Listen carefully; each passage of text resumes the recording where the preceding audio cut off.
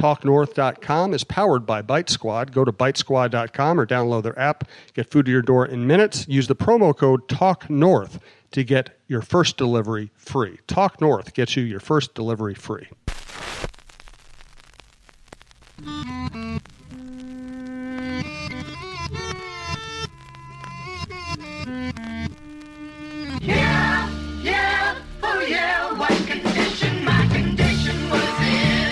So on Twitter the other day, and I, I usually don't use Twitter as a journalistic tool or a, but the other day I thought, okay, here I am. I'm going to write about Josh Okogie. He kind of reminds me of all these great cult figures I've covered throughout my time in sports, where you know they're not the best player, they're not they're not even a starter, but just they cheer everybody up when they when they play or when they're around the clubhouse.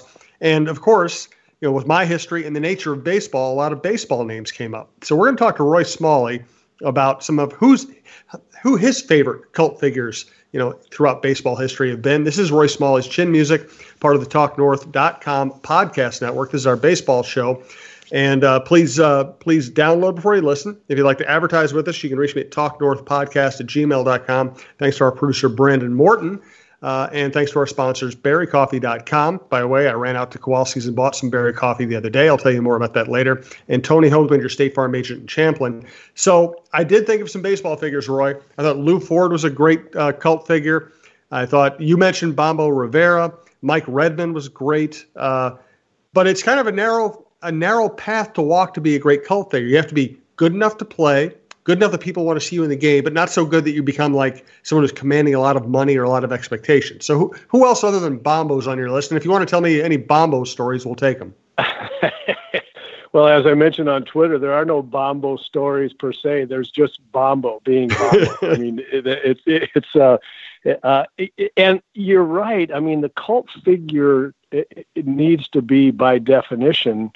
Uh, I mean, there has to be a, uh, a definition. There has to be criteria for uh, it to be a uh, for someone to be a cult figure. And and for me, it was always uh, that the the player became extremely popular for reasons mostly uh, other than uh, ability to play the game, and Yeah. and so uh, and so it was antics on the field, it was stories about you know off the field, uh, and just generally, and that's why I mean Bombo. Uh, just because of his name, eh, I mean Bombo Rivera, you can't get any a better a, a better name than that. And um, he was an okay player, uh, but uh, became a cult figure because of his name and because of the teams that we had, which were not pennant winners. And he actually was a uh, viable write-in candidate for president of student body at the University of Minnesota. I mean, it doesn't get any more cultish I didn't know that. that. in- Say in that again. Oh, Say that again oh, slower oh. for us slow people in the audience. he he actually garnered a lot of votes for uh, student body president at the University of Minnesota.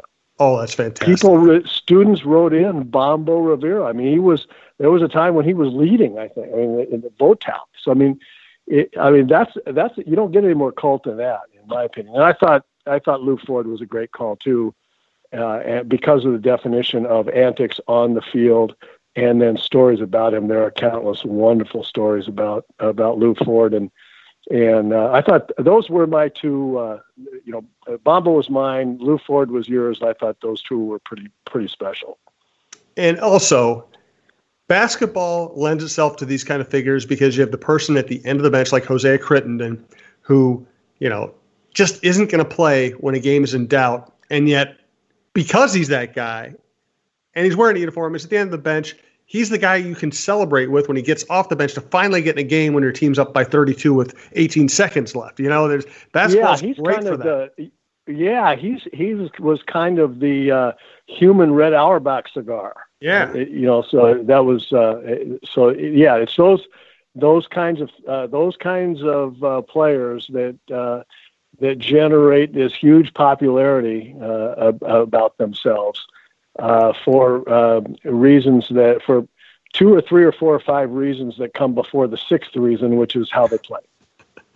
Oh, by the way, uh, preview. Uh, we're going to give Roy the week off next week, and I had a long conversation, very long conversation with Derek Falvey the uh, basically the baseball CEO of the Minnesota Twins.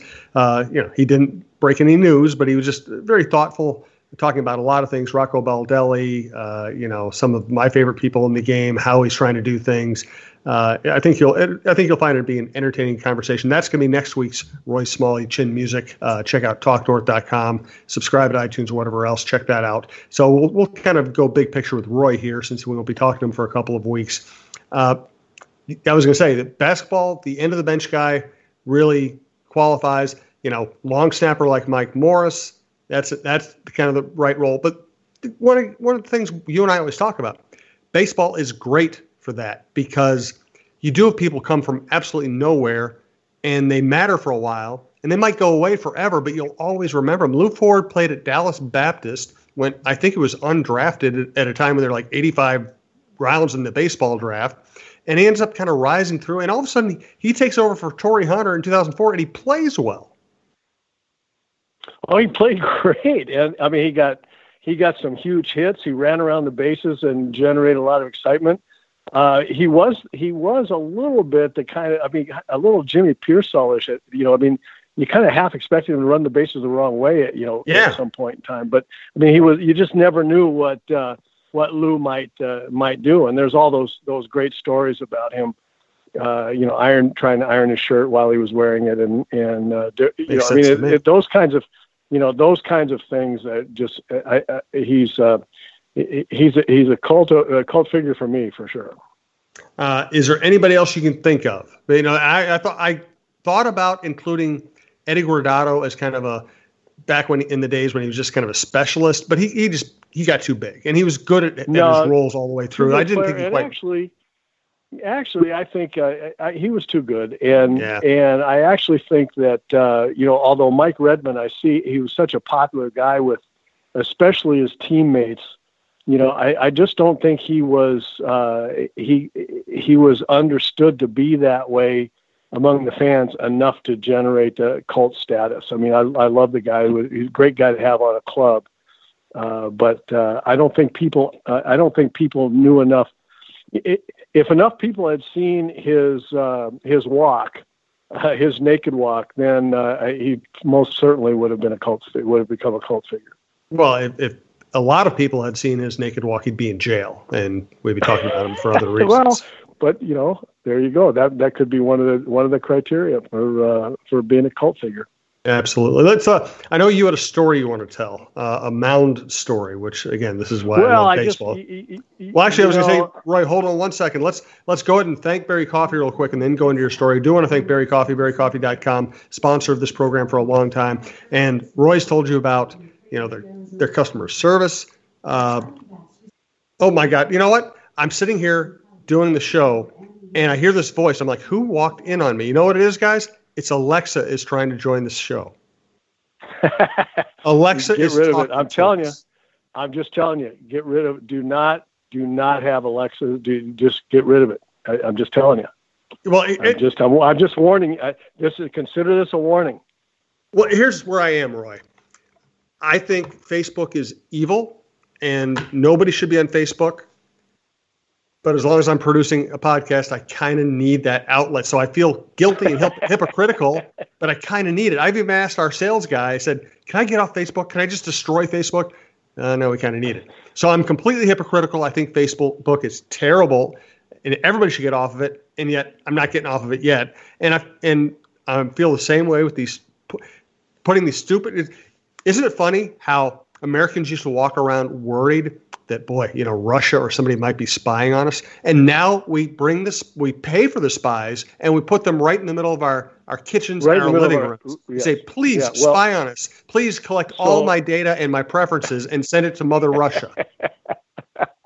It's exactly right. And my uh, uh, my uh, business partner in uh, in our investment business at uh, at Morgan Stanley uh, has uh, uh, two young kids, and he uh, he has also has an Alexa, and he had he never uses Alexa. It's been sitting in his uh, in his place for you know a month or two without any uh, interaction at all.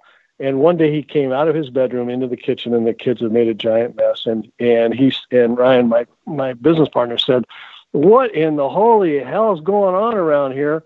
And all of a sudden, Alexa pops up and says, "It's okay, Ryan. Things will work out." Oh my God! I mean, we're in. Uh, can you believe it? I mean, I, that would have gone. That would have been jettisoned off the 51st floor. That, that would have freaked me out. I'm just warning you. I, I don't know what I'm talking about. I'm just, but I'm just warning you. I think you know what you're talking about. I, and for older people like us, those who saw Hal in in Space Odyssey 2001, we know what they're going to do. They're going to try to lock us all out and steal our. I mean, we're, we're dead. We're dead at this Yeah. point. It, and it, um, I said the thing about you know inviting the spy into our house. It also reminds me of a comedian's joke about modern times where we used to warn our kids, please don't ever get into a car with a stranger. And now we have an app so you can call up a stranger and have them come over and pick you up. That's exactly right. That's exactly right. And you know, I'll have to rethink that. I use that all the time too. I'll have to rethink that maybe a little Yeah. bit. All right, let, let me tell you about talk, more. Let's talk about the old days. Well, I got to talk about Berry Coffee first. I want, I, you know, Okay. Roy always tells you about Steve Brem's company, the cu- great customer service, how they're in more and more restaurants, in more and more businesses in the Twin Cities area, and why you should use them, why every restaurant and every bar should use them. Uh, but I just wanted to add another thing. I got a coffee, a member of the family who's a coffee snob is coming to town. So I was like, I need to get some good berry coffee. We love the Bull Run roast. Roy and I have told you about that. We've been out to the roasting plant, had it fresh. It's the, the best coffee I've ever had. And I'm like, okay, I need to get a pound. And and Steve was like, you know, I think Steve was like, hey, we can hook up. I'll give you some. I'm like, no, I just want to go buy some. I'll, I'll keep things simple. We're all busy this time of year. I didn't want him to have to go out of his way. So they sell berry coffee and a bunch of different varieties that I didn't realize existed. Everything from French roast to uh, you know to breakfast blend to house blend, whatever. At Kowalski's on Lyndale, uh, kind of down in the I guess that would be the Uptown. It's right off 35. It's it's not far from 35 on Lyndale. You can Google it, uh, and they have just this massive amount of berry coffee sitting there in the store. You just walk in and buy a pound ground, a pound of pure beans. So I got one ground, one beans. I'm going to give it as a Christmas present uh, to the coffee snob in my life. So I recommend you do that too. Obviously, you can always uh, go to berrycoffee.com and order something. You can call them at 952 937 8697. But if you ever just want to go get a pound and keep it really simple, go to the Kowalski's uh, on Glendale, right off 35. It's And you're in and out in five minutes and you have berry coffee in your home. I recommend that. All right, Roy, tell me your story. Well, the way the way this came about was uh, someone on uh, Twitter uh, who uh, follows me sent out a really a really cute clip of uh, the um, uh, I, I believe it was yeah it was Bull Durham a meeting on the mound where they end up talking about all kinds of all, all kinds of stuff. The infielders come in and they're they're talking about stuff and the and uh, the Twitter uh, follower uh, said, "I miss I miss baseball. I want March, you know March to come." Which at this point in time, I, I think we we kind of all do. And and someone said uh, because about that clip, you know, there, there must be some great conversations on the mound. And I would tell you, after you know 13 years in the big leagues and and uh, a year and a half in the minor leagues, uh, I've heard some fantastic ones, and you, you'd be amazed at the, at the stuff that's talked about on the mound. I don't think that kind of stuff happens so much anymore. I used to, I used to go in, you know, with young pitchers and and uh, try to calm them down, try to say something stupid or you know get them thinking about something else, and and uh, have a conversation with them totally uh, about uh, something other than baseball. But the but the best one I ever heard, I have to set up by giving you a picture of Art Fowler. Art Fowler was a pitching coach for Billy Martin when I first came up to the big leagues with the Texas Rangers in 1975. Excuse me, Google Art Fowler. He was he was in baseball forever, and he pitched in uh, the old Pacific Coast League for, for a long time. Went back when that was kind of like almost like the big leagues, and now I mean there was great talent back then. Did pitch in the big leagues quite a bit.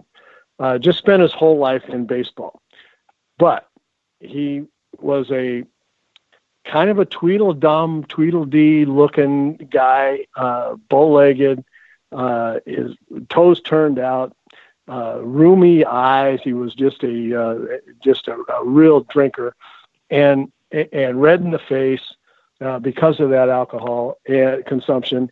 and that's why he was there because he was Billy's drinking buddy. And down in Texas, you know, Billy would, you know, is legendary. I mean, he